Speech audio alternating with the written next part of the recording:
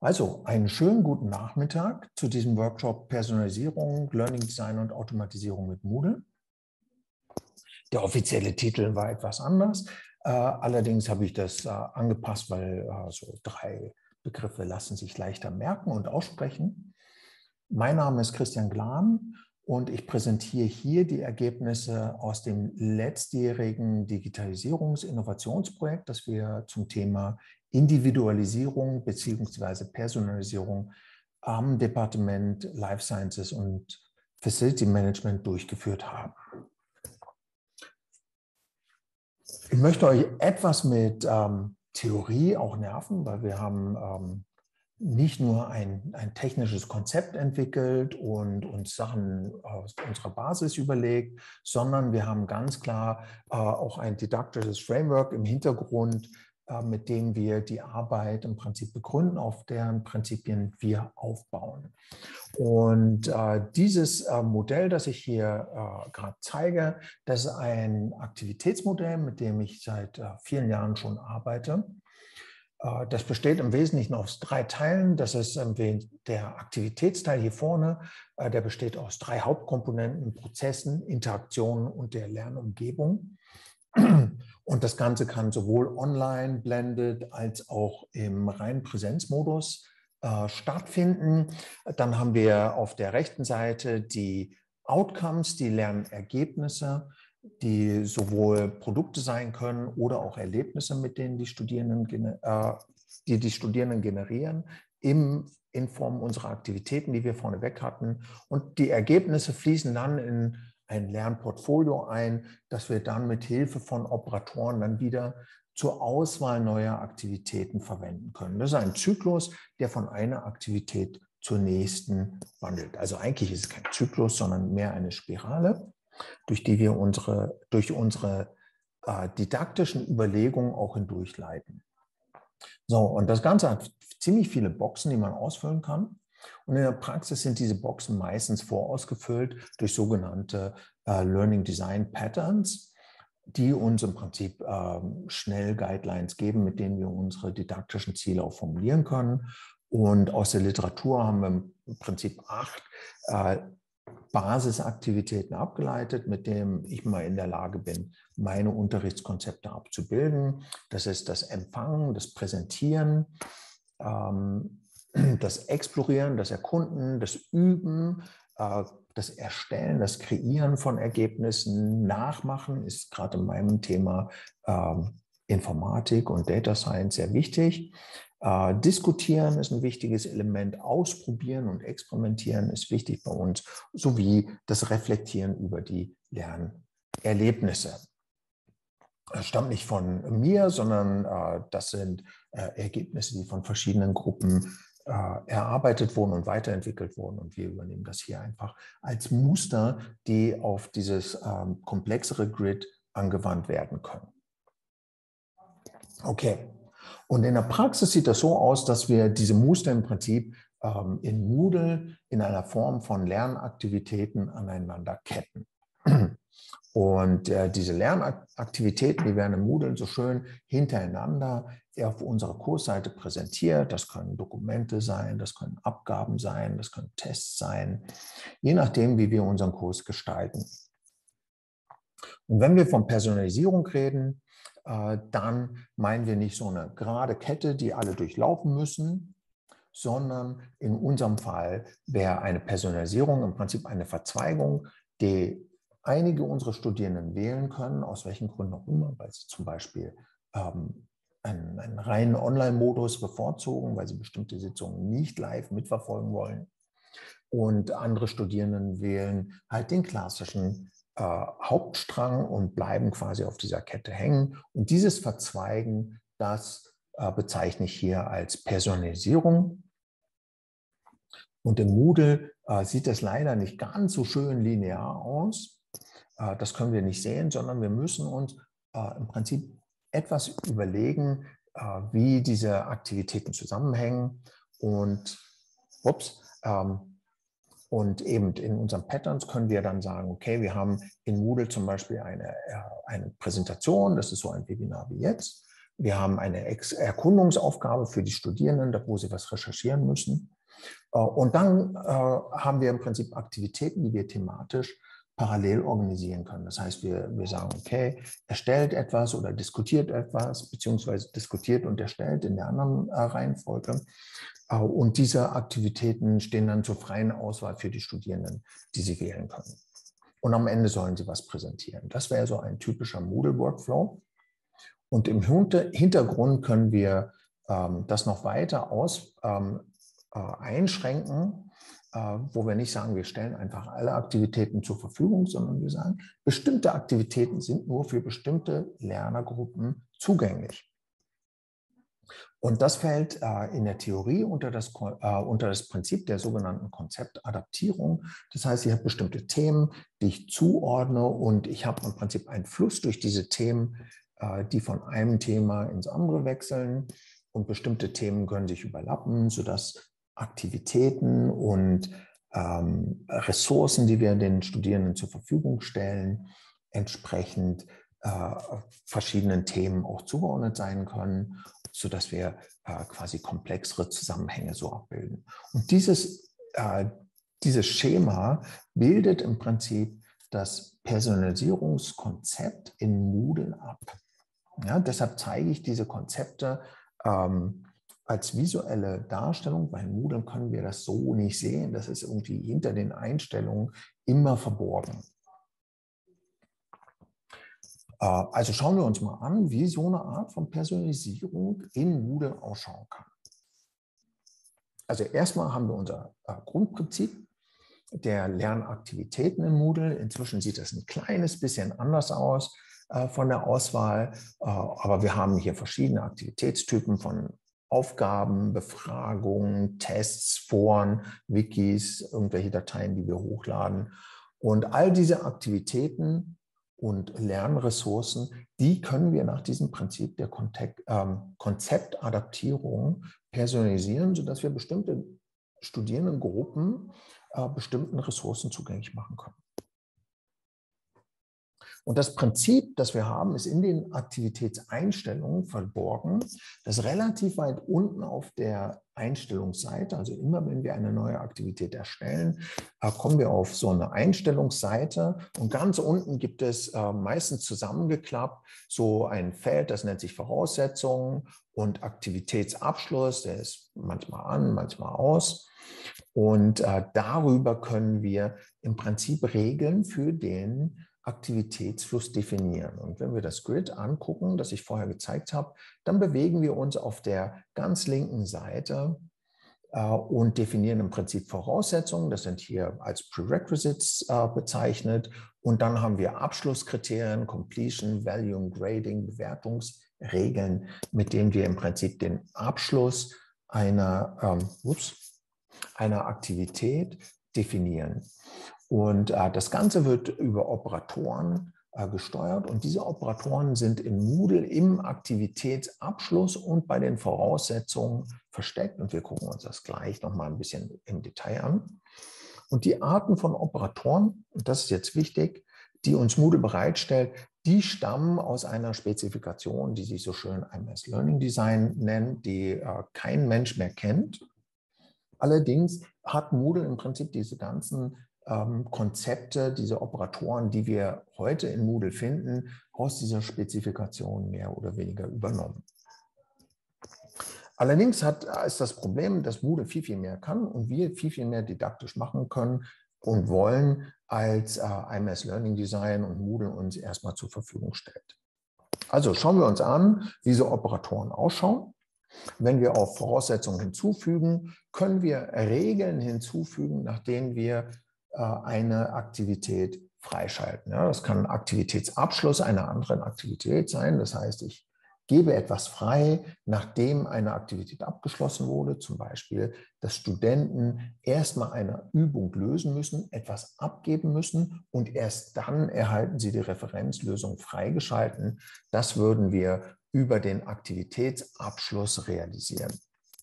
Dann können wir sagen, okay, über das Datum können wir das noch freigeben. Ähm, und jetzt wird es interessant. Wir können auch über Bewertungen und Gruppenzuweisungen äh, die Zugänglichkeit von Lernmaterialien und neuen Aktivitäten steuern.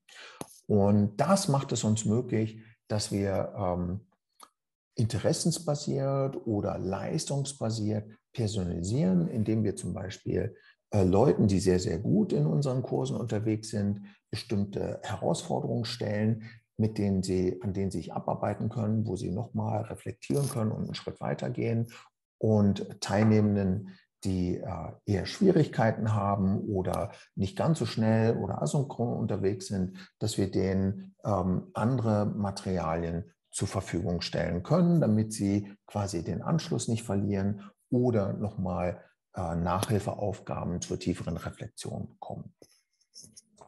Und ein Tool, das ich sehr intensiv benutze, ist das der Gruppenzuordnung.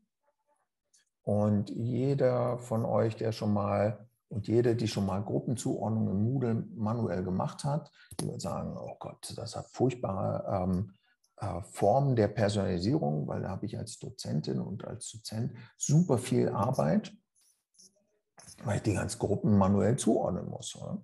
Das kann ich nicht automatisieren. Dann gibt es noch zu weitere Zugriffsregeln und Nutzerprofile, die ich definieren kann.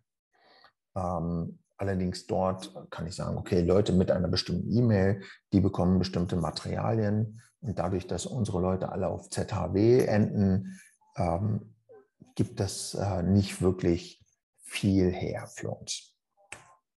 Okay, aber wenn wir das anwenden, dann können wir äh, solche ähm, Personalisierungen realisieren, zum Beispiel indem ich sage, äh, ich habe hier bestimmte Informationen, wie zum Beispiel die Raumzuordnung und ich habe die Raumzuordnung dann über Gruppen organisiert, zum Beispiel, dass die Montagsvormittagsgruppe, die muss in den Raum RT 37 und die Montagsnachmittagsgruppe in den RT 41 und so weiter, äh, dann für die Prüfung gehen. Und die Studierenden, wenn sie in der jeweiligen Gruppe sind, sehen die Raumzuordnung dann entsprechend in ihrem Moodle-Kurs und die anderen Zuordnungen eben nicht. Und das ist etwas, äh, was, es, äh, was die Personalisierung sehr charmant macht. Und wir können das natürlich dann für unsere ähm, Lernprozesse entsprechend weiter ausbauen und sagen, okay, Leute aus der Montagsvormittagsgruppe, die bekommen eine andere Aufgabe als Sie zum Beispiel am Dienstagnachmittag. Äh, ganz einfach, damit wir das Schummeln auch ein bisschen schwieriger machen, dass die Lösungen nicht einfach weitergereicht werden können und so weiter und so fort. Also das können wir über solche Gruppenzuordnung machen. So, und jetzt kommen wir zu den Operatoren. Die gibt es nämlich auch für die Abschlussbedingungen, äh, dass ich sagen kann, für bestimmte Arten von Aktivitäten gibt es bestimmte Regeln, nachdem eine Aktivität abgeschlossen werden kann. Also nicht nur, dass wir die Aktivität zugänglich machen, sondern auch den Abschluss automatisieren können. Und äh, dort gibt es die Möglichkeit, dass wir sagen, okay, wir schließen ab, wenn alle Bedingungen automatisch erfüllt sind. Also die Studierenden alles erfüllt haben, was wir vorher definiert haben. Zum Beispiel, dass sie äh, sich die Aktivität angeguckt haben und dass sie eine bei einer Abgabe zum Beispiel eine Lösung eingereicht haben müssen. Und dann können wir diesen Abschluss verwenden als Voraussetzung für Folgeaktivitäten, um unsere Teilnehmenden äh, entsprechend weiterzuleiten. Der Nachteil von diesen Operatoren, genau wie von den, bei den Voraussetzungen, ist, dass uns Moodle nur wenige Operatoren bereitstellt, nämlich genau die, die hier angezeigt werden, jeweils für die Aktivität. Ähm, und wir haben für uns keine Möglichkeit, diese Operatoren didaktisch zu erweitern, weil wir ein bestimmtes, ähm, ein bestimmtes Bild vor Augen haben, macht uns das Moodle nicht wirklich leicht, unsere Didaktik entsprechend in diesen Voraussetzungen und Abschlusskriterien zu formulieren, sondern wir müssen das hernehmen, was uns Moodle gibt. Das ist die Ausgangsbasis, mit der wir gestartet sind und haben uns überlegt, okay, wie können wir unsere Arbeit erleichtern? Ja, und das Ziel ist, dass wir Moodle didaktisch erweitern wollen. Und äh, dafür haben wir ein Moodle Autopiloten gemacht, der nämlich unsere Arbeit, die wir als Dozenten in Moodle durchführen würden, in Form von Skripten automatisiert. Das Ganze ist ein kleines Open Source Projekt. Das findet man auf GitHub, nennt sich Moodle Autopilot. Und auf der nächsten Seite habe ich den Link äh, zu dem ähm, entsprechenden Repository. Und der Moodle Autopilot hilft beim Automatisieren der Kursmoderation durch Skripte durch von Skripten, durch Skripte in Form von didaktischen Intentionen. Das heißt, wir formulieren im Prinzip den Kursablauf, wie wir uns das didaktisch vorstellen. Das ist die Überlegung, die hinter diesem Moodle Autopiloten steckt. Und das Ganze soll unabhängig vom Moodle sein. Ja, das heißt, dass wenn unsere IT das Moodle-System updatet, dann wollen wir nicht, dass unsere ganze Didaktik plötzlich nicht mehr funktioniert. Das macht keinen Sinn. Ja, das heißt, unsere didaktischen Arbeitsschritte müssen unabhängig von der Moodle-Installation sein. Moodle gibt uns dafür ein super cooles Tool. Das heißt, wir müssen nicht IT fragen, ob sie uns was aufschalten oder nicht aufschalten, sondern es gibt eine Funktion, die nennt sich Moodle API.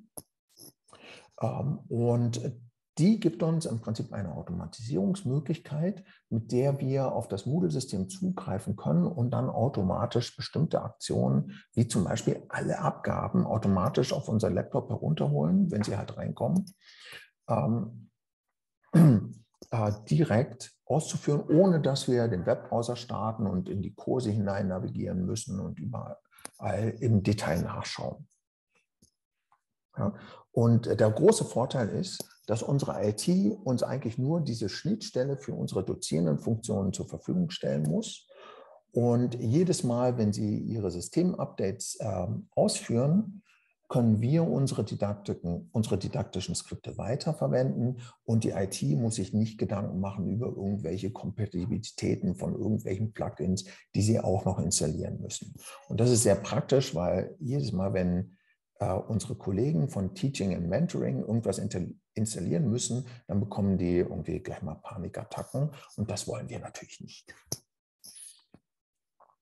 So, das Konzept des Moodle Autopiloten ist im Wesentlichen durch äh, drei größere ähm, IT-Projekte oder ähm, Programmier-, Systemverwaltungsprojekte inspiriert. Das eine ist Ansible, das ist eine große ähm, Systemautomatisierungsplattform und Systemwartungsautomatisierungsplattform, ähm, die man für die Massenverwaltung von Computern verwendet. Äh, GitLab Workflows beziehungsweise das äh, Konkurrenzprodukt GitHub Actions, das sind Automatisierungsmöglichkeiten, mit denen ich Arbeitsschritte ähm, automatisieren kann. Die sehen zum Beispiel so aus. Ja. Ich habe hier einen Ansible Workflow und dort habe ich ein paar Metadaten oben dran und äh, unten drunter äh, habe ich hier jetzt zum Beispiel den typischen ähm, Administrationsworkflow, wenn ich ein Linux-System habe, dass ich immer meine aktuellen System-Updates auch eingespielt habe. Das kann ich automatisieren und das läuft dann äh, irgendwo im Hintergrund für alle meine Server in der Nacht, wenn ich das haben möchte. So sieht etwas für Ansible aus und äh, in Form einer GitHub Action sieht es etwas anders aus. Aber wir sehen hier ein wiederkehrendes Muster, dass wir irgendwie so eine Einrückung haben, mit denen wir äh, im Prinzip hierarchisch bestimmte Konzepte bündeln können. Und hier haben wir ein Konzept, das wir für unsere Moodle, für unsere Moodle Autopiloten dann mit übernommen haben. Ja, nämlich wir haben Jobs und diese Jobs bestehen aus, aus Arbeitsprozessen und diese Arbeitsprozesse haben Arbeitsschritte und diese Arbeitsschritte benutzen irgendwelche externen Tools. So, das sind auch unsere Konzepte, die wir für den Moodle Autopiloten verwenden, nämlich Workflows, die wir als Dozenten zur Moderation machen und die Aktionen, die wir machen würden, wenn wir unsere Konzepte durchführen. So, und wie sieht so ein Workflow aus? Ich habe hier einen ganz einfachen Workflow, die Gruppeneinteilung in unseren Moodle-Kursen äh, aus einer Excel-Tabelle heraus einzuspielen. Das heißt, ich habe eine Excel-Tabelle, die ich von irgendwoher bekomme, zum Beispiel von unserem Evento. Und äh, ich möchte die äh, in meinem Moodle-Kurs hier auf dem, unserem Testserver, dem Moodle Test UB Server, möchte ich einspielen. Und jetzt sage ich, okay, was ist mein Arbeitsschritt, um das manuell zu tun?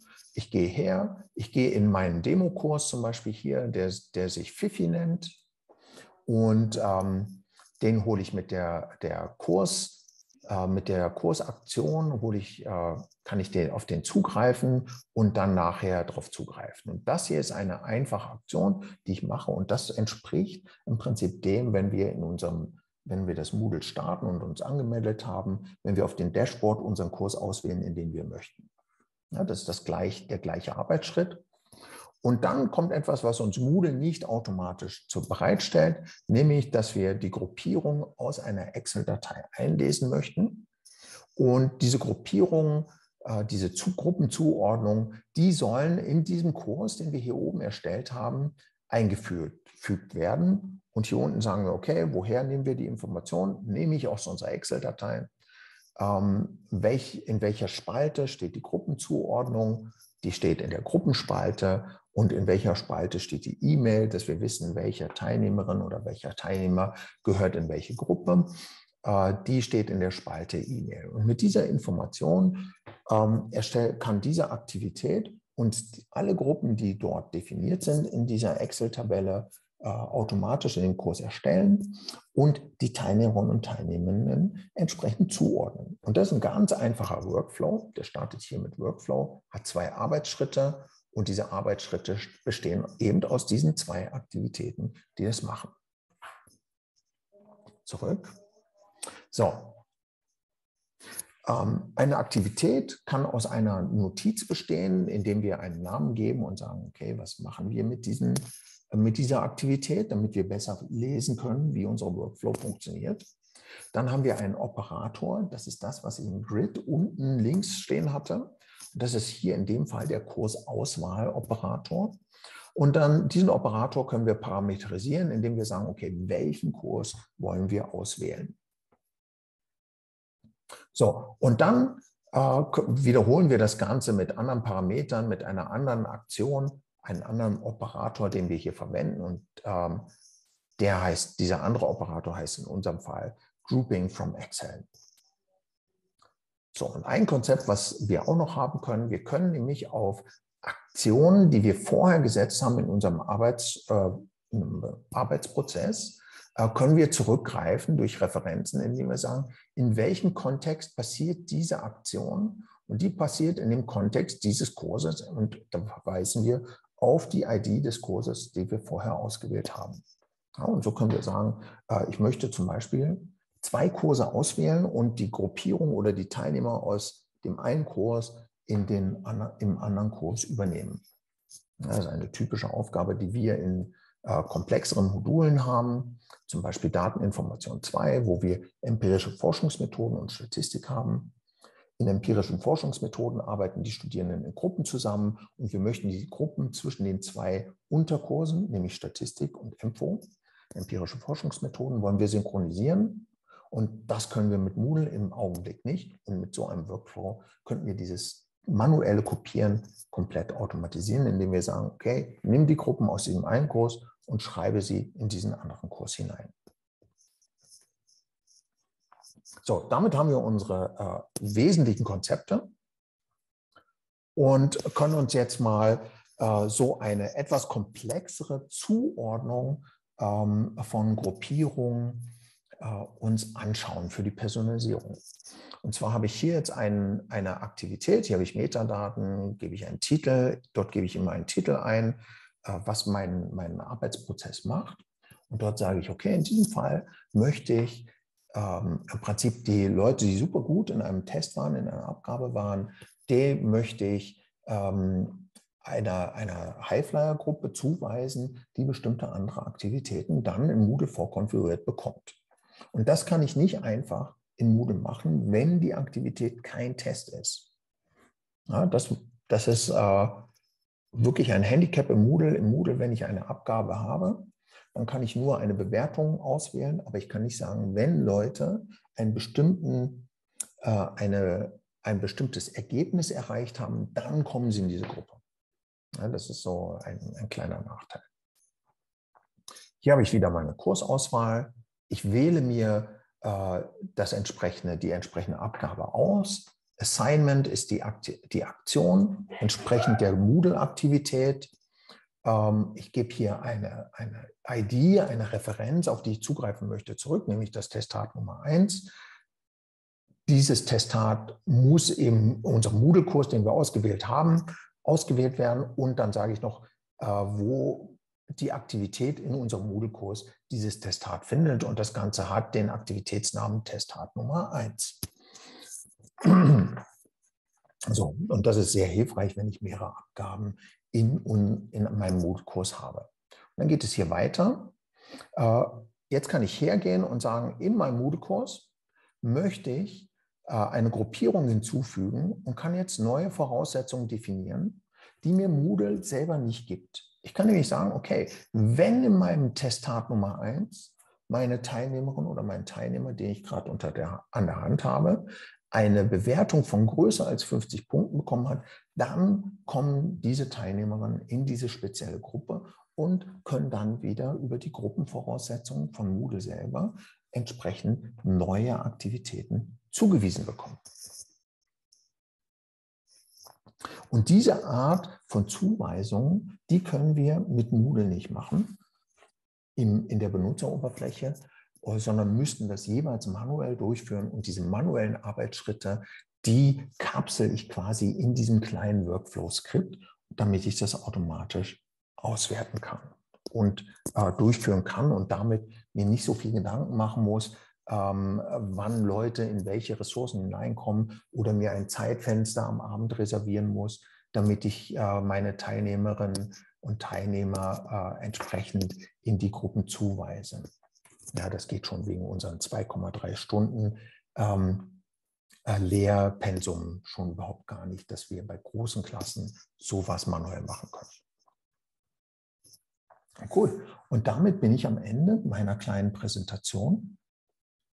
Und ähm, wir haben noch, glaube ich, zehn Minuten für etwas Diskussion mit euch. Und ich gehe hier zurück in den Workflow, dass ihr das wieder sehen könnt.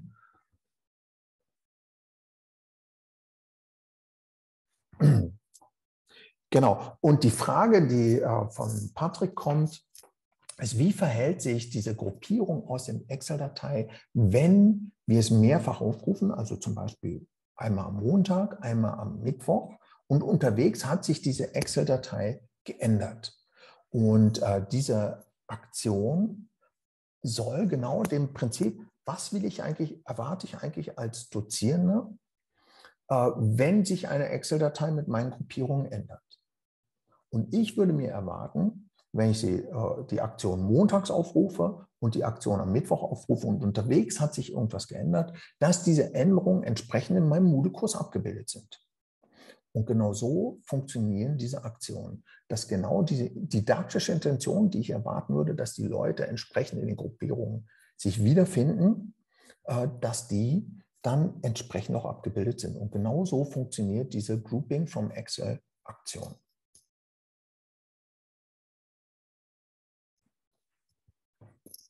Ja, also es wird dort ein Statusabgleich gemacht. Also es wird durch die Teilnehmerliste von Moodle gegangen und nachgeschaut, ist die Person in der entsprechenden Gruppe? Ist die Person nicht in der entsprechenden Gruppe? Dann wird die Person zugewiesen. Und wenn man mehrere Gruppen zum Beispiel hat, durch Komma getrennt oder so, und eine Teilnehmerin oder ein Teilnehmer ist nicht mehr in der Gruppe, in der sie vor oder er vorher zugewiesen war, dann werden diese Teilnehmerinnen entsprechend auch gelöscht. Christian. Thomas. Äh, danke zunächst mal für die Ausführungen. Was mich wundernehmen würde jetzt, äh, für die Umsetzung in der Praxis, habt ihr da auch einen kleinen Lehrfilm, wo man quasi dann einfach eins zu eins sieht, wie, wie bringe ich jetzt das Skript wirklich in mein, in mein Moodle rein, wie mache ich das ganz konkret? Was habt ihr das was angedacht? Oder? Was, was das Charmante ist, ich, ja, wir haben ein, eine kleine Anleitung, wie man das macht.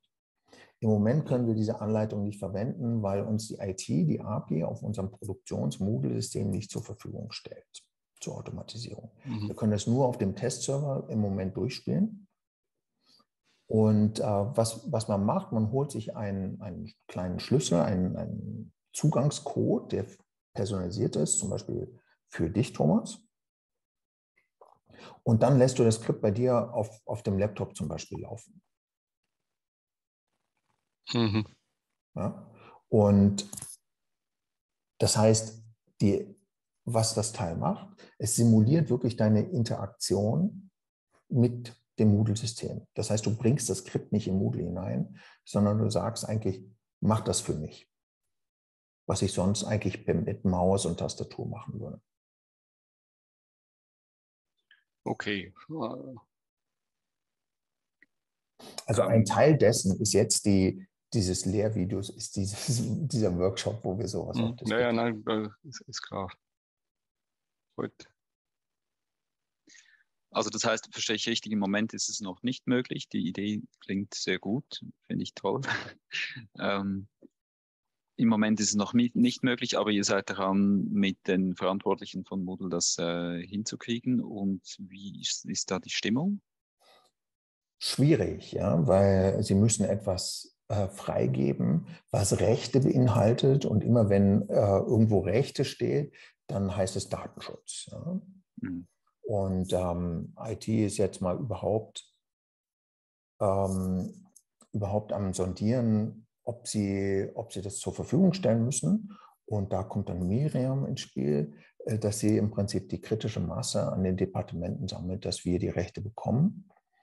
Damit wir den Zugang haben im Produktivsystem, dass wir zum Beispiel, wie Andreas fragt, wo bekomme ich diesen doofen Schlüssel her? Ähm, den bekommt man nämlich aus den Einstellungen und äh, wenn diese Rechte nicht freigegeben sind, dann sieht man diesen Schlüssel.